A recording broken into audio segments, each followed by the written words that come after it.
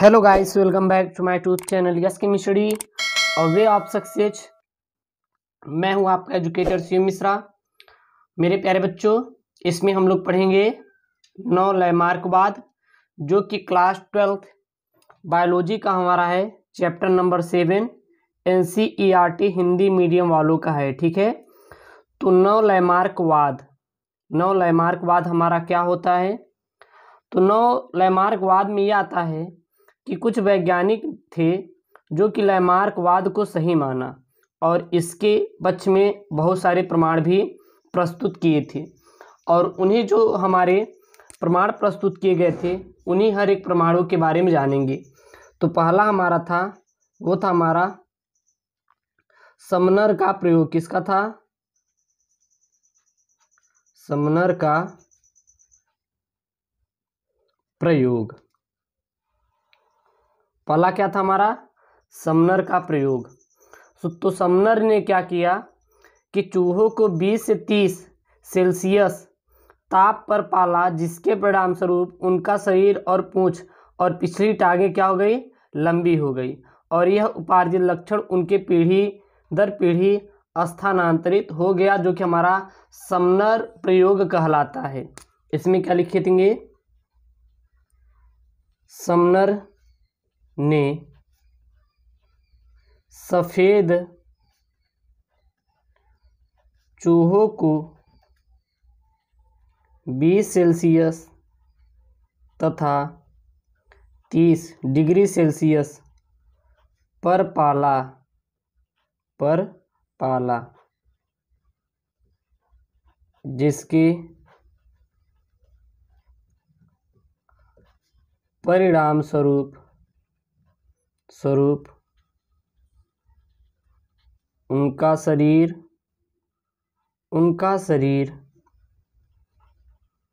पूछ तथा पिछली टांगे लंबी हो गई। पिछली टांगे क्या हो गई? लंबी हो गई। और यह उपार्जित लक्षण लक्षण उनमें पीढ़ी दर पीढ़ी पीढ़ी दर पीढ़ी, स्थानांतरित स्थानांतरित होता गया। ओके, इसको कहते हैं हम लोग नौ लैमार्कवाद अगला हमारा मैकडूगल का प्रयोग। दूसरा किसका था हमारा? वो था मैकडूगल का प्रयोग। मैकडूगल का प्रयोग। तो मैकडूगल ने चौवालीस पीढ़ियों तक सफ़ेद चूहों को पानी में टेढ़े मेढ़े रास्ते से निकालने का क्या दिया हमारा? परीक्षण दिया। और उन्होंने पाया कि शुरू में चूहों को काफ़ी प्रशिक्षण देना पड़ता था, लेकिन धीरे धीरे पीढ़ी दर पीढ़ी इनका जो प्रशिक्षण था क्या हो गया? कम होता गया। तो इसमें क्या लिखेंगे? मैकडूगल मैकडूगल ने चौवालीस पीढ़ियों तक सफ़ेद चूहों को पानी में टेढ़े मेढ़े रास्ते से निकलने का प्रशिक्षण दिया। उन्होंने पाया कि शुरू में चूहे, चूहों को काफ़ी प्रशिक्षण देना पड़ता था, देना पड़ता था। लेकिन बाद में प्रशिक्षण प्रशिक्षण समय कम हो गया, कम हो गया। ठीक है ना? ये हमारा था। अगला हमारा था कैमरर का प्रयोग। किसका प्रयोग था हमारा? कैमरर का प्रयोग। चल देख लेते हैं हमारा। अगला हेड डालेंगे। कैमरर का प्रयोग। तीसरा प्रयोग किसका था हमारा? तो तीसरा आपका था प्रयोग कैमरर का प्रयोग। अगर कैमरर का प्रयोग देखें तो 1924 में कैमरन ने कुछ सैलामेंडर को काले वातावरण में रखा। जो सैलामेंडर थे, उनको क्या किया? वातावरण में रखा और कुछ को पीले वातावरण में रखा। और कुछ वर्षों बाद देखा कि जो सैलामेंडर के शरीर पर काले धब्बे और पीले वातावरण में रखे गए सैलामेंडर में पीले धब्बे पाए गए और वह गुण उनके संतानों में क्या होते गए? हमारे वंशागत होते गए। तो लिखेंगे। 1924 में कैमरन ने कुछ सैलामेंडर को काले वातावरण में रखा तथा कुछ को पीले वातावरण में रखा। कुछ वर्षों बाद काले वातावरण वर्ण में रखे सैलामेंडर के शरीर पर काले धब्बे तथा पीले वातावरण में रखे गए। सैलामेंडर में पीले धब्बे पाए गए और यह गुण उनकी संतानों में वंशागत भी हुए। संतानों में वंशागत भी हुए ठीक है ना? ये हमारा था नौ लैमार्कवाद अगला आपका आता है डार्विनवाद क्या था हमारा? डार्विनवाद तो चलिए हेडिंग डालिए। लैमार्कवाद हम आपको पढ़ा चुके थे। और अब हम लोग जानेंगे किसके बारे में मेरे प्यारे बच्चों? डार्विनवाद के बारे में। हमारा डार्विनवाद क्या होता है? तो इसको समझने के लिए आपको सबसे पहले क्या बनानी पड़ेगी? एक प्यारी सी हेडिंग क्या डालेंगे हम लोग? डार्विन वाद। ओके डार्विनवाद होता क्या है? तो दो अंग्रेज़ वैज्ञानिक थे। एक थे हमारे एल्फ्रेड रसेल वैलेस तथा एक थे हमारे चार्ल्स रॉबर्ट डार्विन। ने स्वतंत्र रूप से जातियों की उत्पत्ति पर समान निष्कर्ष निकाला और एक परिकल्पना प्रस्तुत किए जिसे डार्विनवाद कहते हैं। डार्विनवाद को कितने वैज्ञानिकों दिया था? दो वैज्ञानिकों ने दिया था। कौन कौन से? एक हमारे थे एल्फ्रेड रसेल वैलेस और दूसरे हमारे कौन थे? Charles Robert Darwin. तो आप क्या लिखेंगे? यहाँ पे लिखेंगे दो अंग्रेज़ वैज्ञानिक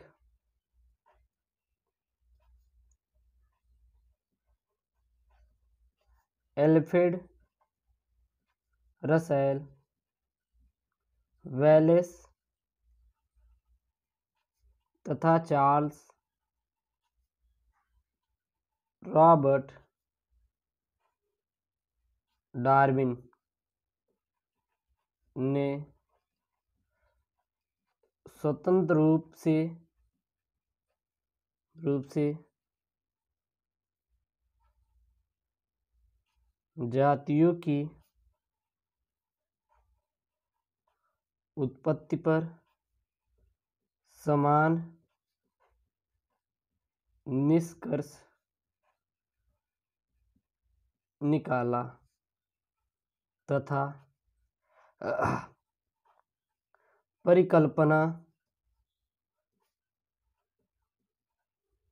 प्रस्तुत की जिसे डार्विनवाद कहा जाता है। जिसे क्या कहा जाता है? तो उसी को हम लोग डार्विनवाद का नाम दिए हैं। अब आता हमारा अगर डार्विनवाद का संक्षिप्त अगर हम लोग इनका वो देखें तो जो रॉबर्ट डार्विन का जन्म किस समय हुआ था? तो थोड़ा सा लिख लेना। आ, क्या लिखेंगे हम लोग? चार्ल्स रॉबर्ट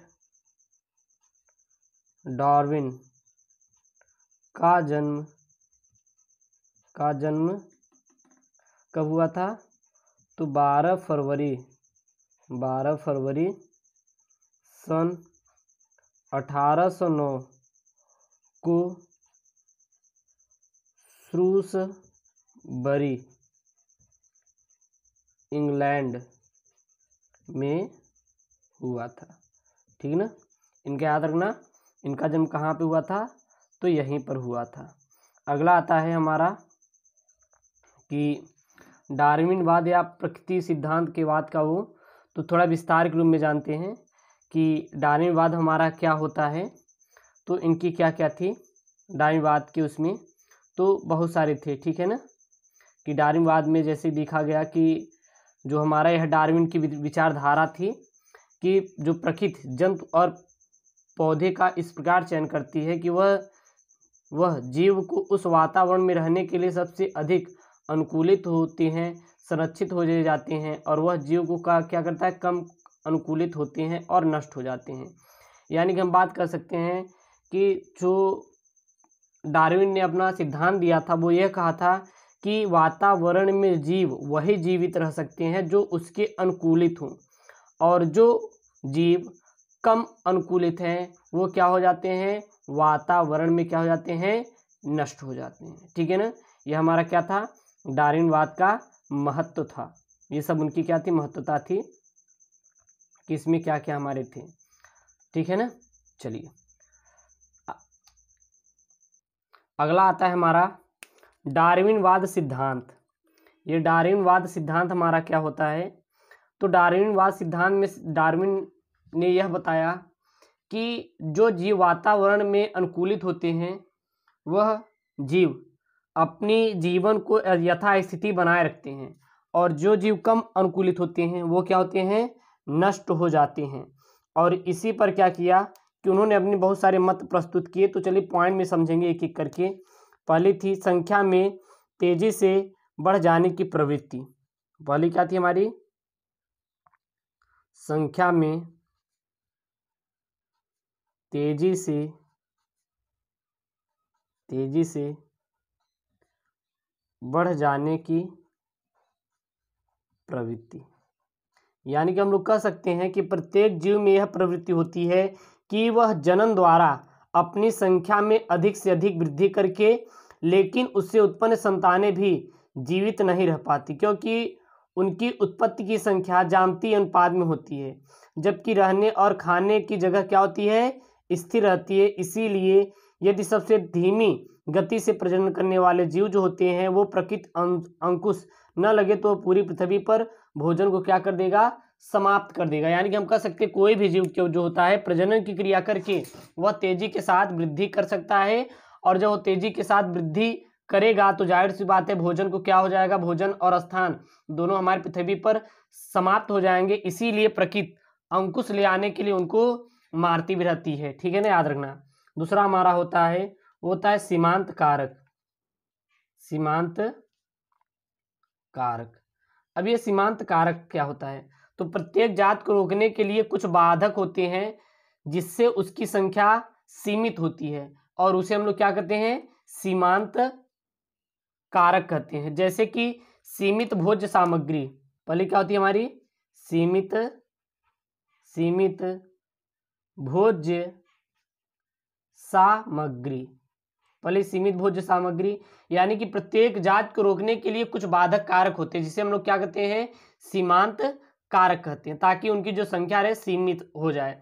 जैसे कि सीमित भोज्य सामग्री, अब देखेंगे जनसंख्या जो होता है, भोज्य सामग्री की कमी के कारण सीमित हो जाती है। अगर भोजन नहीं रहेगा तो ज़ाहिर सी बात है वो बिना खाए मर जाएँगे। एक बात ध्यान दीजिएगा। दूसरा क्या होता है हमारा? वो वो होता है परभक्षी जंतु। दूसरा क्या होते हैं हमारे? पर भक्षी जंतु। अब परभक्षी जंतु क्या होते हैं? कुछ जंतु ऐसे होते हैं जो कि अफ्रीका के जंगलों में यदि शेर खत्म कर दिया जाए तो जिब्रा की जो जनसंख्या होगी इतनी बढ़ जाएगी कि वहाँ पर भोजन की सामग्री क्या हो जाएगी? घट जाएगी। इसीलिए कुछ परभक्षी जंतु होते हैं। जैसे कि हमारा क्या आता है? हमारे जो कि जनसंख्या पर अंकुश लगाते हैं, जैसे कि हमारे शेर। शेर देखो, जिब्रा या फिर अन्य किसी जानवरों को मार मार के क्या करते रहते हैं? जंगलों में खाते रहते हैं। वहीं पे हमारा तीस तीसरा होता है, वो होता है हमारा रोग। रोग क्या होता है? आप जानते हैं कि जब भी जनसंख्या में मतलब ज़्यादा ज़्यादा वृद्धि होती है तो महामारी फैलती है। महामारी क्यों फैलेगी? ज़ाहिर बात है कि उनके पास भोजन नहीं रहेंगे, कपड़े नहीं रहने, रहेंगे, दवाई कराने में पैसे नहीं रहेंगे तो क्या हो जाएगा? वहाँ पे कहीं ना कहीं जनसंख्या में वृद्धि ज़रूर आएगी। चौथी क्या होती है? स्थान। अब जब आपके पास स्थान है ही नहीं तो आप थोड़ी ना बच्चे को पैदा करेंगे, बिल्कुल भी नहीं करेंगे। और फिर लास्ट वाली क्या होती है? प्राकृतिक आपदाएँ। प्राकृतिक आपदाएँ देखते हैं, जैसे कि अभी आ गया, तूफ़ान आ गया, बवंडर आ गया तो ये प्राकृतिक आपदाओं के कारण भी बहुत से जीव की क्या हो जाती है? मृत्यु हो जाती है। ओके? ये याद रखिएगा।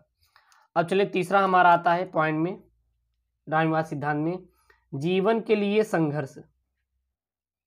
जीवन के लिए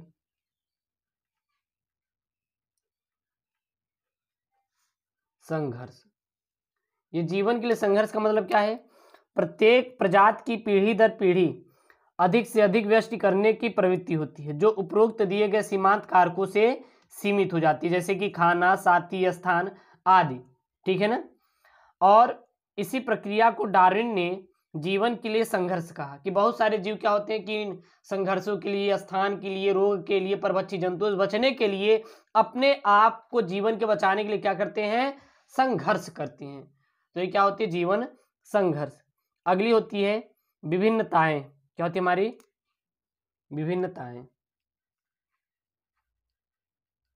विभिन्नताएँ। विभिन्नताएँ और विभिन्नताएँ में यानी कि दो जीव कभी भी एक जैसे नहीं हो सकती। यानी कि अगर देखा जाए तो जो माता पिता होते हैं, उनके दो संतानें क्या समान हो सकती है? क्या नहीं हो सकती। और इसीलिए उसको सबसे अलग बनाती, यानी प्रत्येक जीव में क्या पाई जाती है? विभिन्नताएँ पाई जाती है। अगला आती हमारी, पांचवा, वो आती है हमारी, नई जात की उत्पत्ति। नई जात की उत्पत्ति। नई जात की यानी कि वातावरण को निरंतर परिवर्तित होता रहता है, जिससे जीवों में उनके अनुकूल रहने के लिए विभिन्नताएँ आ जाती हैं और यह विभिन्नताएँ क्या होती है? पीढ़ी दर पीढ़ी जीव में इकट्ठा होती रहती हैं और धीरे धीरे वह अपने पूर्वज से इतने भिन्न हो जाते हैं कि वैज्ञानिक उन्हें नई जात का स्थान दे देते हैं, नाम दे देते हैं। तो वो नई जात भी उत्पत्ति करती रहती हैं। अगली हमारी आती है डार्विनवाद की आलोचना। ये डार्विनवाद की आलोचना क्या है? तो डार्विन वाद अंगों के प्रारंभिक विकास को नहीं समझाता, क्योंकि डार्विन ने अपना जब बहुत सारे मत दिए तो उनके आलोचक भी बहुत सारे आए। पहला क्या था? पहला ये था कि डार्विन वाद अंगों के प्रारंभिक विकास को नहीं समझाता है। जो डार्विनवाद होता है, वो अंगों के विकास के प्रारंभिक विकास को बिल्कुल भी नहीं समझाता है। दूसरा क्या होता है? यह योग्यतम की उत्तर जीविता को ही समझाता है। ठीक ना? यह योग्यतम की उत्तर, जीविता को तो समझाता है, लेकिन योग्यतम के आगमन का आगमन का डार्विनवाद से कोई से कोई संतोषजनक संतोषजनक स्पष्टीकरण नहीं मिलता। स्पष्टीकरण नहीं मिलता है। ओके? दूसरा आपका क्या हो जाएगा? तीसरा तीसरा हो जाएगा कि डार्विन अंगों के नष्ट होने पर कोई स्पष्टीकरण नहीं दे पाए। डार्विन अंगों के नष्ट होने पर कोई स्पष्टीकरण स्पष्टीकरण नहीं दे पाए। ठीक है? चलिए, अगला है हमारा क्या है? अगला आपका है कि जलीय जंतु तथा स्थलीय जंतु में से विकास नहीं समझा पाए। जलीय जंतु तथा स्थलीय जंतुओं से विकास नहीं समझा पाए, नहीं समझा पाए, ठीक है ना? पांचवा हमारा क्या है? पांचवा आपका है कि अवशेष अंगों को नहीं समझा पाए। अवशेष अंगों को नहीं समझा पाए। ये अवशेष अंगों को भी नहीं समझा पाए। छाठवा क्या था? प्रकृतिवाद के लैंगिक वर्ण में नए कोई, नए नर कोई चयन नहीं करता, जबकि मादा आकर्षक नर का चयन करती है। यहाँ पर लिखेंगे, प्रकृतिवाद के लैंगिक वर्ण में नर कोई चयन नहीं करता नहीं करता, जबकि मादा आकर्षक नर की चयन करती है, चयन करती ओके? ये जो पॉइंट है मेरे प्यारे बच्चों, इसको नोट कर लीजिए। आपके डिमांड के अनुसार आपको बड़े बड़े अब वीडियो देना स्टार्ट कर दिए गए हैं। सो चैनल पर नए हैं तो प्लीज़ चैनल को सब्सक्राइब करिएगा। बेल आइकन को प्रेस करिएगा ताकि आने वाले लेटेस्ट वीडियो की नोटिफिकेशन सबसे पहले आप तक पहुँचती रहे। ओके दोस्तों थैंक यू जय हिंद।